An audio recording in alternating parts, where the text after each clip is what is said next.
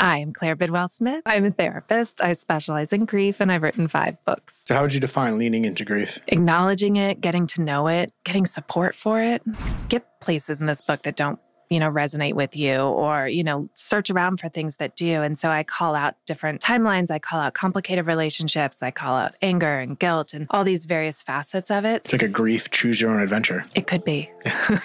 Wouldn't that be fun? That would. It turned to page 72 if you lost your mom. oh, God. Speaking of a bad joke, I've been, I realize I have a hole in my sock if you're watching on YouTube. So I'm going to talk about the grief of my sock next time you come on. Claire, everyone has been on the podcast before very early on. It's a pleasure to actually do it in person. I know even though we've obviously met before. But for everyone, anyone that may or may not already know you, which I think a lot of my audience does know you, feel free to introduce yourself to any newcomers. I am Claire Bidwell Smith. Uh, I'm that you are.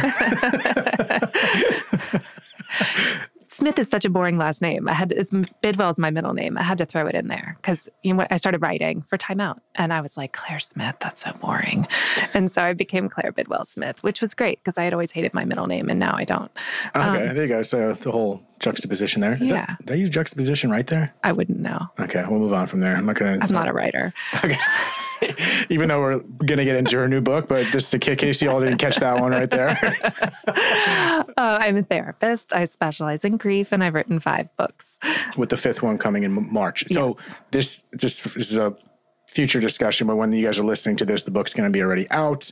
And, uh, you know, we'll we'll give you all the information there, but let's tap into your mind a little bit. What's so it, it, I'm talking about the book in regards to I want to let the audience know about what why did you write this book and what is it covering? I'm really excited about this book. It's called Conscious Grieving, which I know is like eh, sounds a little like snippy. yeah, but um, this one is really like kind of a synthesis of everything I know about grief. Like if I could I sit with clients day in and day out, and I've been doing this for 15 years now. And it's like everything I wish to impart to someone who's in grief. Maybe they're newly in grief or they've been, you know, carrying grief for a long time. It's kind of just everything I wish to impart to someone, but I tried to do it in a way that wasn't overwhelming. And mm. um, I love this book because I don't talk about myself in this book. It's all written to the reader. Mm. Um, it's like in second person. And, um, my previous books, I started with a memoir, which was all about me and the deaths of my parents uh, before I was 25.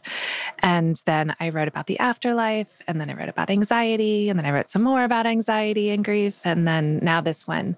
Um, but it's really, you know, conscious grieving i know we throw the word conscious around a lot but i think i think it's been missing in grief because the way i look at it is that loss happens to us, right? My parents died, your dad died. It happens. It's this thing that happens. You didn't choose it. You have no control over it. It's this thing that happens to us. But how we grieve and how we move through that process and how we carry loss is up to us. We can mm. be intentional with it. And I don't think it feels that way in the beginning. You know, it just feels like everything is happening and grief is happening and all of this anguish and pain and overwhelm and all the things that come with with loss feel like they're happening, but really we we have a choice in them, you know? And I've come to believe that leaning into grief is the way to move through it. Mm. You know, and I think when we ignore it and push it away, all kinds of stuff happens. So how would you define leaning into grief? Acknowledging it, getting to know it, getting support for it. Um, really beginning to understand kind of how it works, how you're going to carry it through your life, um, how it's impacting you on a daily basis, on a bigger picture level.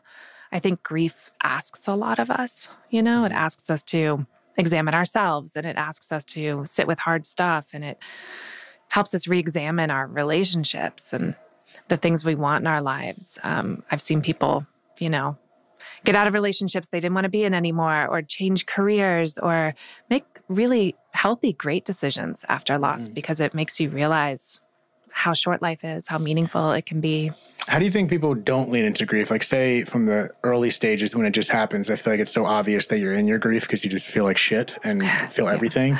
So, is that is that not leaning into grief already, or is that just you're just feeling it? And I think usually that that happens, we feel like shit, and then we kind of run from it, or we try to tuck it away. And when that happens, or we ignore it, or avoid it. And when that happens, it always spills out in anxiety, in anger, in unhealthy coping mechanisms. I feel is that so. Is that initial reaction from a lot of people? I think we're talking about a difference of reaction and responding.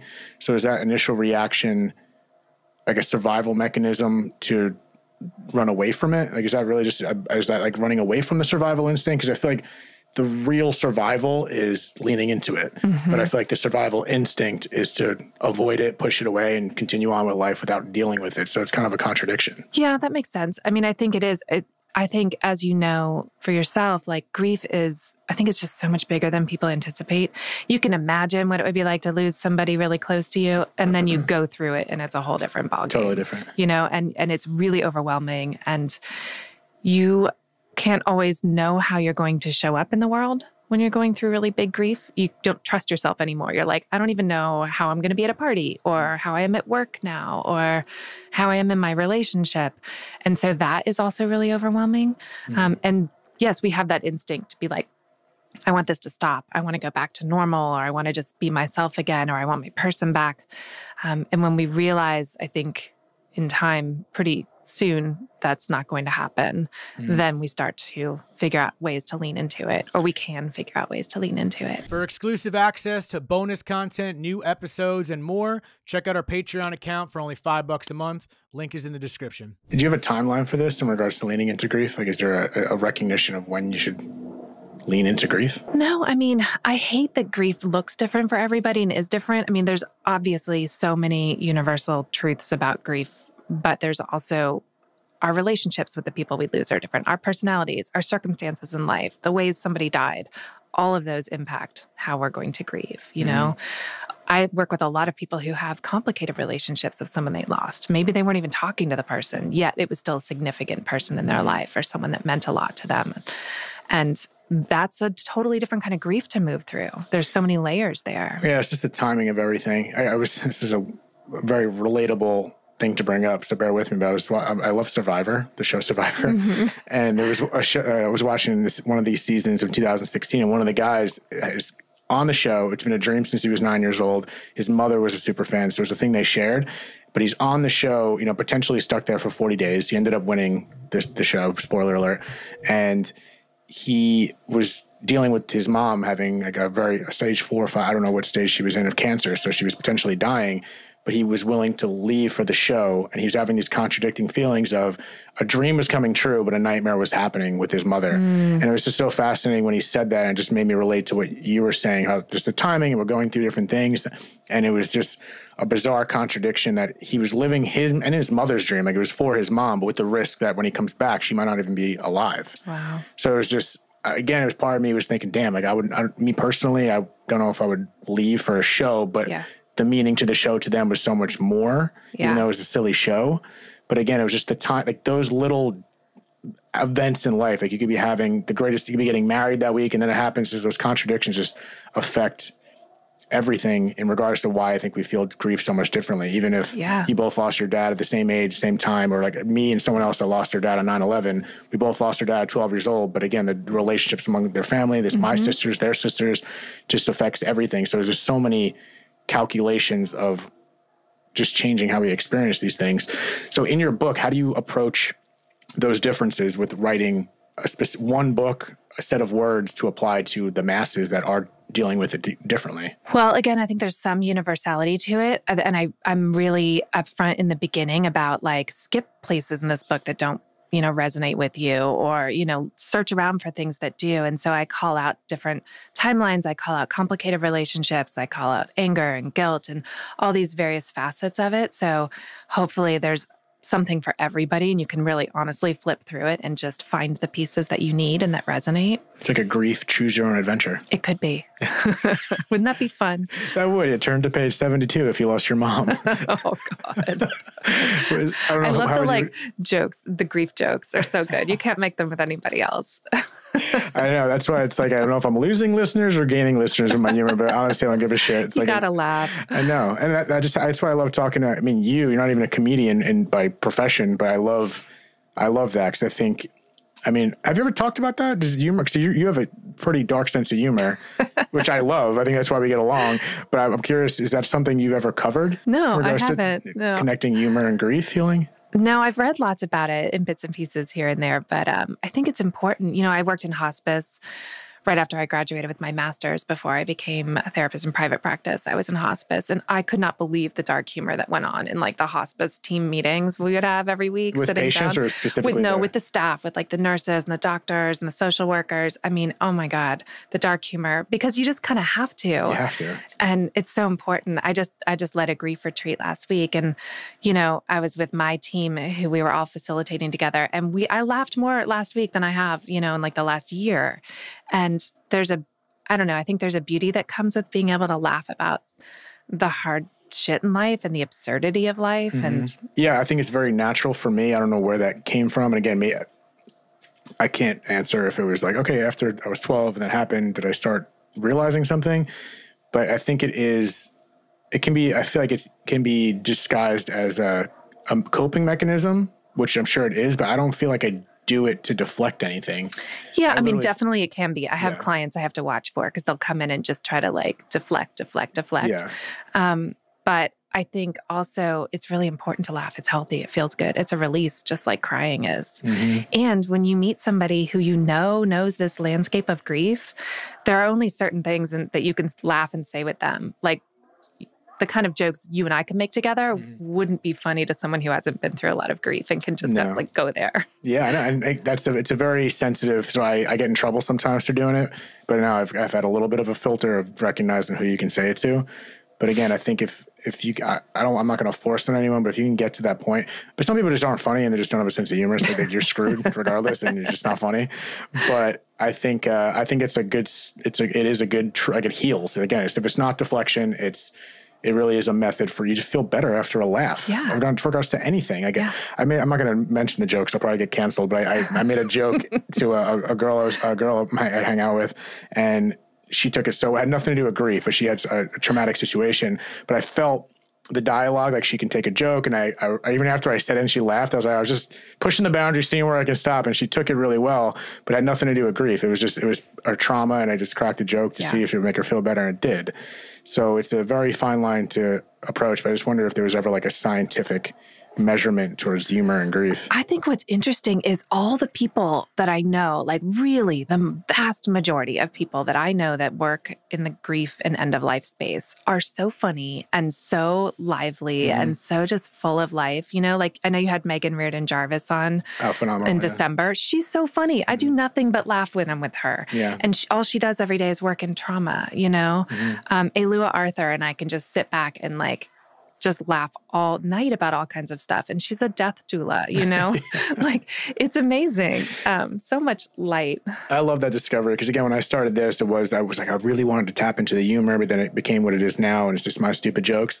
But the I think that I think when you see someone able to laugh through trauma and tough situations, it's also a sign of oh okay. Like besides the fact they seem like they've gotten through it, it just kind of dumbs down life, not in a negative, not in a bad way. I think it just sometimes my belief is we can't take this all too seriously, even when it is serious. And I think the laughter makes it more f- like fantasy. I don't, I don't know how to describe it, which sounds like deflection now. But at the same time, I, I just think it's such an important mechanism towards getting through anything in life. You can find the humor, and I think that's synonymous with finding the light in it. Yeah. You know what I mean? Even though it's a dark light. I mean, people ask me and say all the time, you know, isn't this hard? Isn't this work hard? Isn't this topic hard? Isn't it sad? You know, and yeah, sure, it is for Mhm. sure. But there's also like, all of grief is a reflection of relationships and life lived and time together. And so it's so much more than just hard and sad. I I love hearing stories about the people that people have lost. I love, you know, little idiosyncratic details. Someone at the retreat the other day was talking about her her partner who died and she was like he loved breakfast and like I just love that. That's so funny. She's like he wanted to eat breakfast all the time. And, Mm, I um. And I love like there's so much like sweetness and beauty in that and I Mhm. hear those stories all day. And then it's also hard in my work there's a 100% fatality rate. Like I never Mhm. every story of cancer ends in death every car crash every suicide attempt every you know overdose always death. Nobody ever survives those things. And so it's heavy. It's so heavy. And so that makes me want to laugh and like have a break sometimes. not laugh at those things but just like oh gotta find some like lightness in life. That's the key difference. You're not exactly laughing at it. You're just kind of laughing with it. Yeah. Okay, so humor, I think we just beat to death. So we'll move on from humor. But the uh, pun intended. Har, har. Yeah. So I'm curious about. So yeah, I find it fascinating. It's like you've graduated to this again. You were uh, talking about your experience, which is important because it lets people in on your experience, which you can relate to, and I think that's beautiful in itself. But it's fascinating. Now you're speaking to people. So how? What was your approach with that in regards to like? Were there? I know you mentioned some things already, but what are the practical approaches that you would say to people that maybe you know want to pick up your book and are going through it? Like what what people is it for? Is it for anyone in grief or a certain timeline or they're feeling Yeah. certain things? No, it's for anyone. I mean, I think I think um grief is something you can kind of always keep unpacking and keep understanding. It is something inevitably we carry for a long time, you know. If it's a significant loss, it's something you might carry for your entire life. So there's always more understanding to to gain around it. Um, so it can be for someone who has a 30 year old loss, for instance, or for someone who just went through a big loss last week.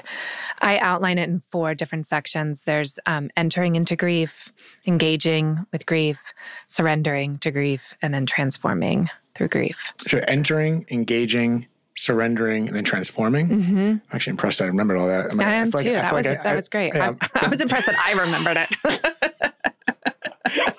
that was actually like a mini test for myself. Selfish. I was like, I'm sorry, I'm trying to remember things better.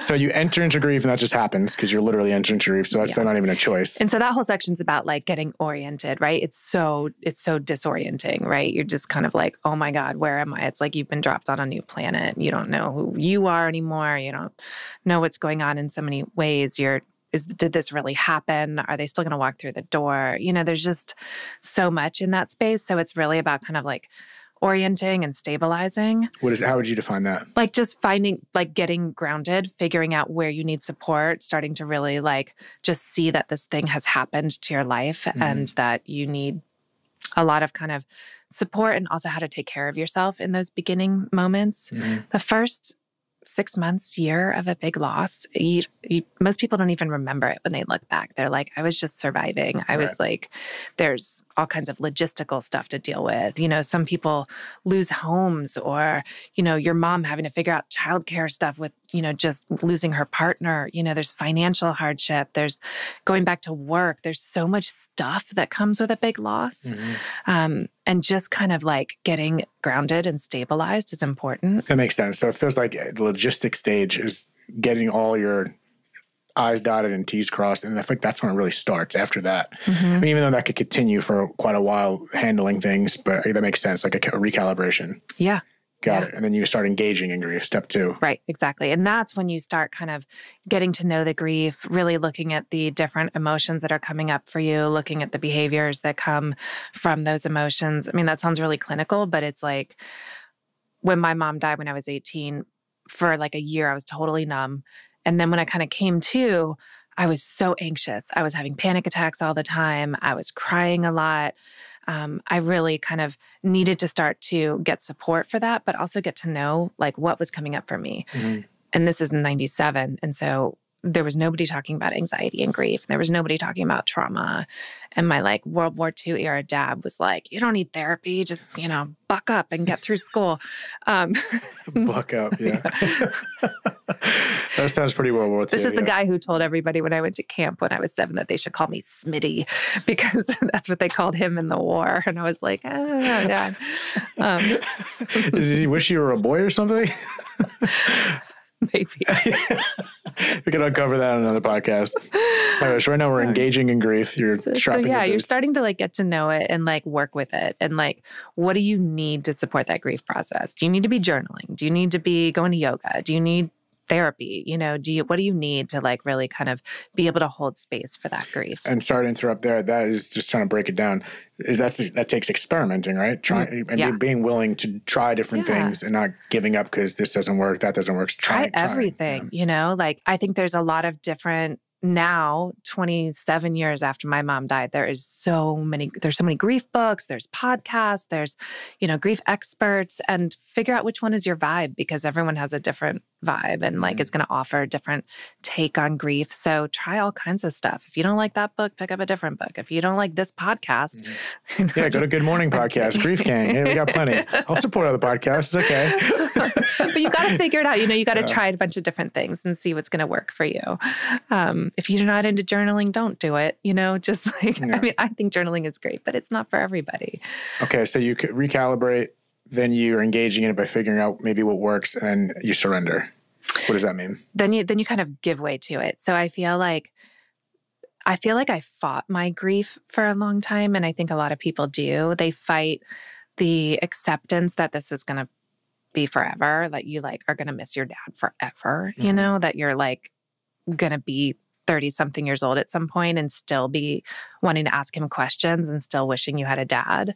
And that is a moment that's, I think, it takes a little while to come around to that realization and the acceptance of it. Mm-hmm. So once you accept it, it's kind of about surrendering to that, right? This is your new identity in a lot of ways. And this is the path that you have in this life. And so, how do you accept that and really start to work with it. Is acceptance and surrender the same thing to you? No, and I don't mean like acceptance that this is when I say acceptance, it doesn't mean it's okay, you know, that my parents died. It just means that I'm accepting that this is my reality. Mm-hmm. And like, how am I going to work with that? And how am I going to like figure out ways to be in my life um, without parents and support myself in that, find ways to talk about it. So, how do you surrender? I'm sorry, this, this, no, top, I know. this topic, this, this topic, uh, the art of surrendering always intrigues me because that's something I feel like I've always worked on, but I'm also like, what the fuck does that mean? I know what it means, but I still have trouble doing it sometimes. I can't tell if I have surrendered to certain things. And I've heard, I hear a vast different, you know, approaches to surrendering. I, like one, one approach, I'm stealing your light right now. One approach I heard with, uh, the heck is the name of the book? I'm forgetting the name of the book. It might actually be called like let the go. art of surrender or something. Let go. I'm forgetting the name of the book. But anyway, the one thing was his approach was allowing yourself to feel the emotions and just working through the specific feeling that you're feeling, if it's whatever it may be at that time. Yeah. And it's just allowing it to build up, not just not putting a story on it, not trying to define it, this, that, the other, and then naturally let it pass because at some point it's going to dissipate. And that was a practice to surrendering at the same time by not running away from it, like you said, kind of going through it. Yeah. And naturally letting the balloon deflate. That is that emotion. That was one technique yeah. I heard of surrendering. I think it I think it's helpful to sometimes almost think about the opposite of surrendering. So, like fighting it, you know, like constantly fighting the emotions that are coming with grief, like wanting to be, you know, feeling a difference. Like some people will tell me, like, I'm crying all the time. And I'm like, that's okay. But they want to not be crying all the time. So, stopping fighting that, you know, mm-hmm. um, or, just thinking about like not holding on to everything so tightly and trying to control everything so tightly, just letting it be what it is, just mm-hmm. breathing, being in it, um, acknowledging how, all the ways it's changed your life rather than wanting and trying to go back to who you were or trying to be some different version of who you are now. Mm-hmm. Um, just being who you are, starting with right here, you know? And I think also, too, like really asking, what what are you learning from this grief? What are you learning from this pain? Because we fight it so much that we don't want to learn anything from it but there's actually a lot to learn. Yeah that's combative in nature. Whenever i try to bring up lessons this or that it's hard it's i think people are just seeing it through a different veil in different times. Because i mean i, I the only you don't my head you don't really learn from the good times. I yeah. might be I might be plagiarizing that from someone I had on the podcast, and it, that really resonated with me too. Because it's like you you really, you really learn through the shitty times. Like you learn when you yeah. fail. Like if you're constantly great at something, what are you learning? Yeah, like you're learning an ego. I don't I don't know what, what you're learning there. So it's like inherently there are always lessons in shitty shit. But then it's like, I, I remember even asked my sister on the podcast, she's adorable when she said it too. It's like, so what, what, was the good from all this? And Gina was like, the good? Um, I mean, she's like, there is no good. But if I had to pick something, and it's like a fair response because like it's hard to look at the good from something so bad, yeah. but inherently in shitty situations, there's always a lesson. But I think it takes time to find that, and maybe that is stage three of the surrendering aspect and, and, and finding those lessons. transform, transforming, you know, letting it really change you, letting it like break you open in a lot of ways. Um, this idea of like post loss growth gets thrown around in the clinical world, and it's like post traumatic growth. not everybody goes through it, but it's like, you know, the ways you've made meaning out of your loss and the ways I have too, and the work I do. And I, I'm sure we, everyone who goes through a big loss plays that game eventually at some point if they get to this kind of more transformative side of it where they're like would i give up all of this empathy and like all of who i am now and all the ways i've grown to have them back and yeah we mm. probably would give it up yeah. you know yeah. but sometimes it gives me pause to think about you know who i am as a result of all of this loss is someone that um really doesn't take life for granted and just i think it it gave me an, a side of myself that I may never have reached, at least this early in life. And I'm appreciative of that. Yeah, it's huge. Yeah, yeah that's, an, that's an important reflection. I always think I was like, if my dad didn't die, I wouldn't have this podcast. What the hell I'd be doing? I'd still be doing real estate full. Like I don't. It's a whole I, yeah, you just get on a rabbit hole. But I want to say that it is really hard to hear about that or even imagine it if you're in the beginning of loss. So if like you're someone who's listening that's really new in this, you don't want to hear about transformation and post loss mm-hmm. growth and you don't want any of that. You just want your person back and you want this pain to stop. And it's mm. it, and and I address that in the book too. It can be um, insulting almost to be like, oh, I'm transformed through grief.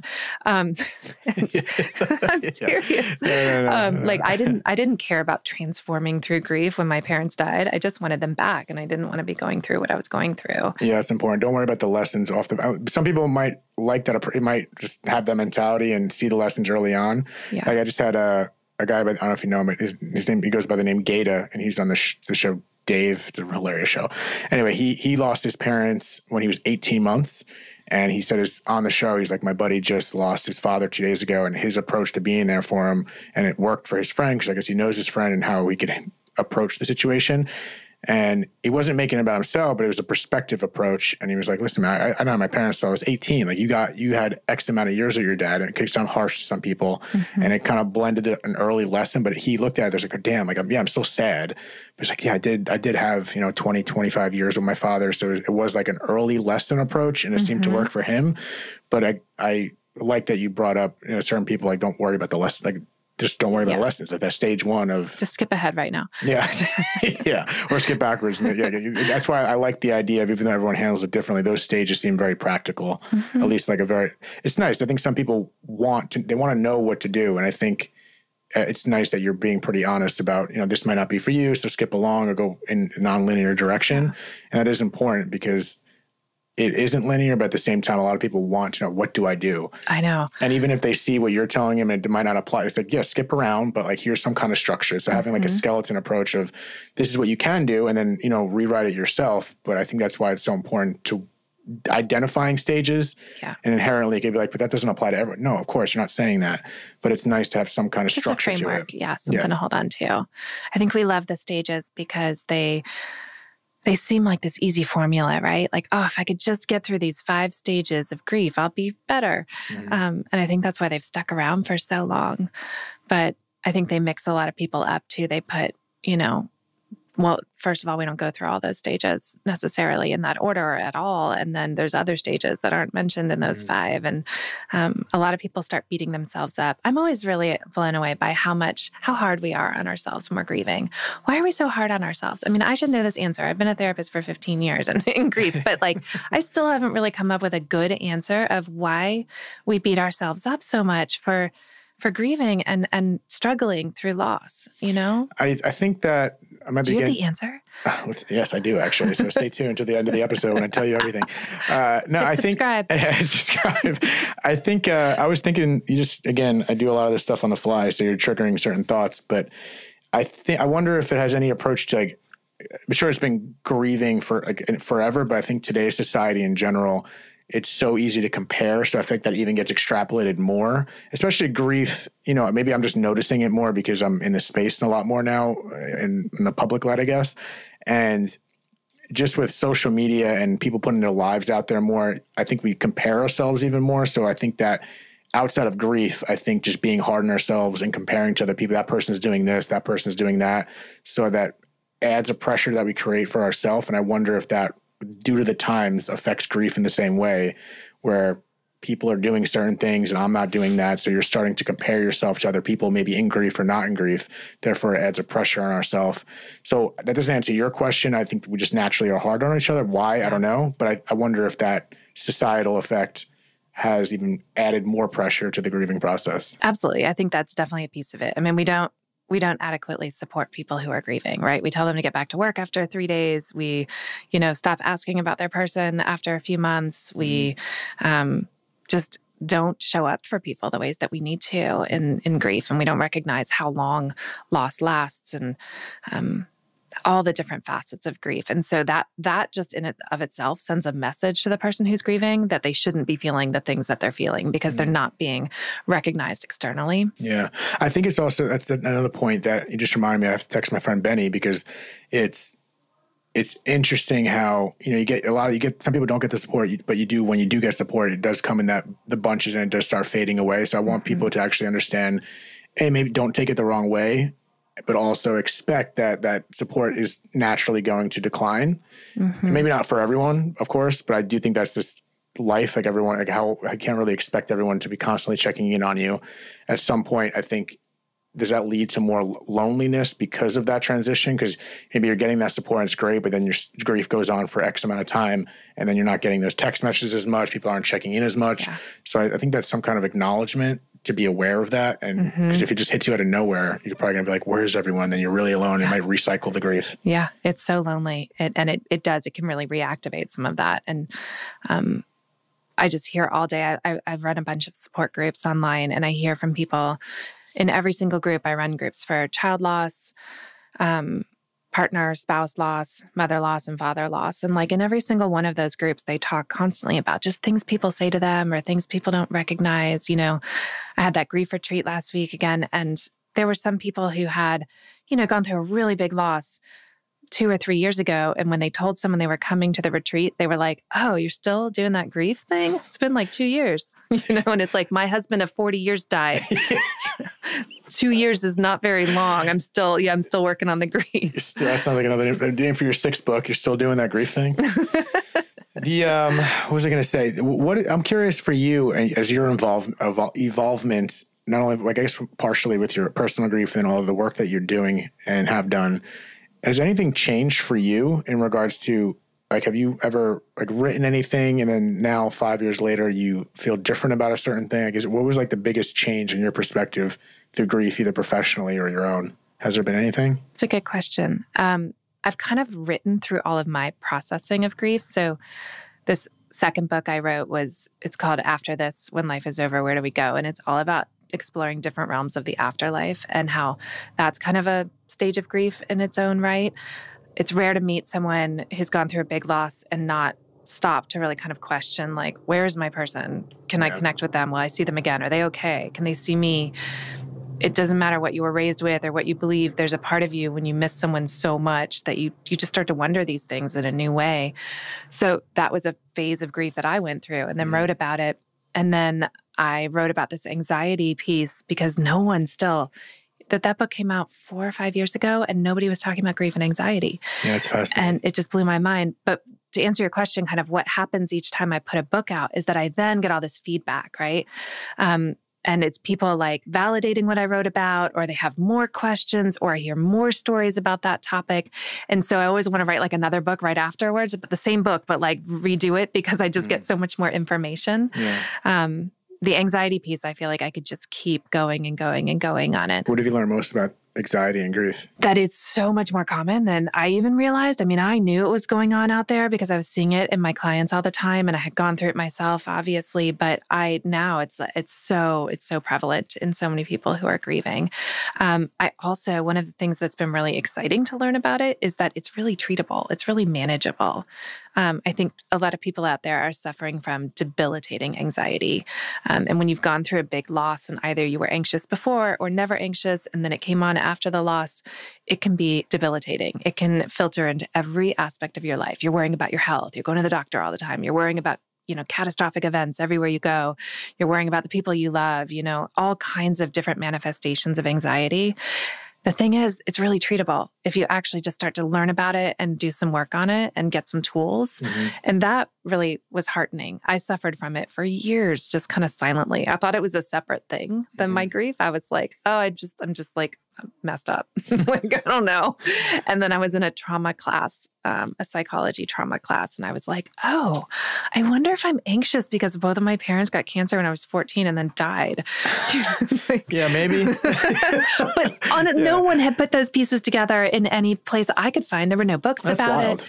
I know. No therapist said this to me. Okay, so most people literally like if if someone comes in and says I have anxiety, they there's no they they, they just assume that you've had it or it's something different. They literally rarely correlate it to death. Exactly. How? And people were coming into my office after I started to write about it who'd maybe gone through a loss like as young as you at 12 and they've been anxious for 20 years and they're just now like, "Oh, I wonder if this is cuz my dad died when I was 12." Mm-hmm. And it's like anxiety can be so insidious and it can also be um, one of the things I think that's that's tough about anxiety is that you can have it and no one knows. Like you can almost keep it silent. I could be sitting here an anxious mess, you know, feeling it run through my body or having anxious thoughts while I'm sitting here and you wouldn't necessarily know.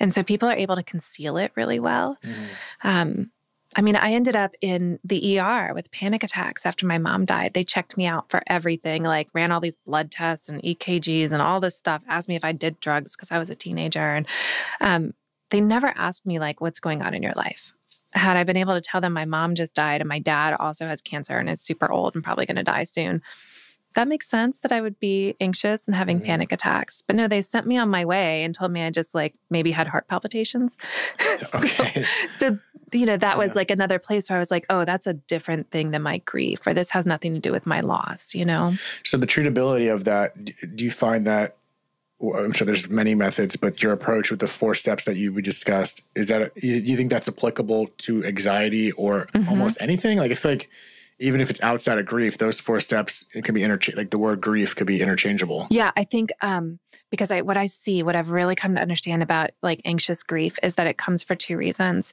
Um, one is like untreated grief. Like you're suppressing your grief, you're not acknowledging it, you're not being supported in your grief in your life. And so, in that, you get anxious as a result. Like when you tamp grief down, it's going to spill out in some way. And anxiety is one of the most common ways it spills out. Mm. And then the other piece is the really understandable one, right? Mortality, kind of understanding that terrible things can happen at a moment's notice and that new way of being in the world and seeing through that lens.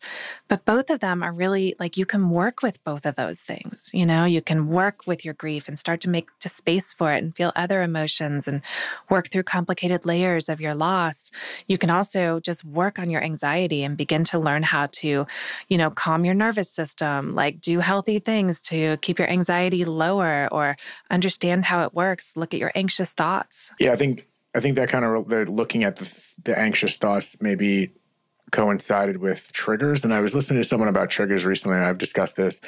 It's like we I feel like when triggers happen, people tend to run away from those triggers and, and get whatever feelings towards it. Right. But to me, triggers is just letting you know that you have something to figure out. Totally. Like exactly. I think triggers are looked at in like a negative way, and they now triggers are used very loosely you know, politically and all that mm-hmm. stuff. And I'm not going to go into that, but it tends to be like shut that trigger down as opposed mm-hmm. to approaching the trigger from a place of. And that's what I mean when I like lean into it. Yes, you know, that's that's literally. It's like a yellow cautionary light. It wants you to stop and look around and see what's going on. Yeah, so triggers are a good thing. It's mm-hmm. Hard in the moment, but I think triggers are a really good thing. It like bring yeah. it brings things up. I, I, got triggered by something recently. A person said, and it took me in a whole rabbit hole of of why, and it, it was healing.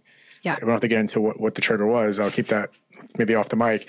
But it was like a beautiful moment because I was, I felt like I, I don't feel like I get triggered very often.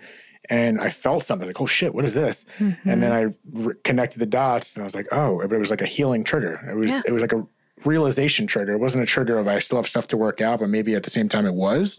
But it was like a, it was a, it was an alert bell. And then I realized it, and then I worked its way out, and I feel like it was like a closed door mm-hmm. due to a trigger. Exactly. And that's like that's my whole approach to like rather than slamming the door on that stuff, let's lean into it, let's get to know it, let's work with it. And like by all means, get support. Some of this stuff is too hard to do on your own. And I mm-hmm. think that's the piece where a lot of people get tripped up yeah. is they think they're supposed to like as my dad would tough it tough it through.